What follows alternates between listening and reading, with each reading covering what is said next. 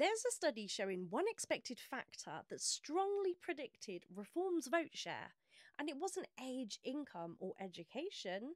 It was ill health. Researchers analysed voting patterns alongside the prevalence of 20 long term health conditions across England, everything from COPD and diabetes to epilepsy and obesity. Their conclusion areas with a higher burden of chronic illness were significantly more likely to vote reform.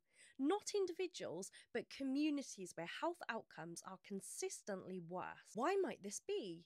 Well, when people face long waits for GP appointments, limited local services, and chronic underinvestment, frustration tends to accumulate.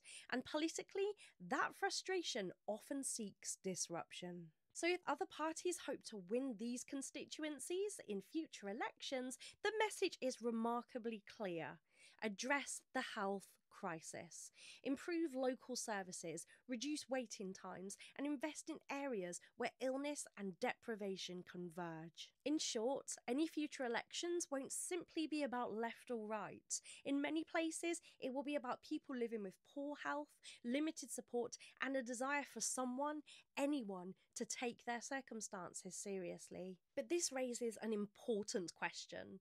If areas with the worst health outcomes are turned into reform, are reform actually the party best placed to improve those outcomes? The evidence suggests not. Their manifesto offered limited detail on strengthening primary care, virtually no long term plan for social care, and no credible strategy for addressing chronic disease or health inequalities.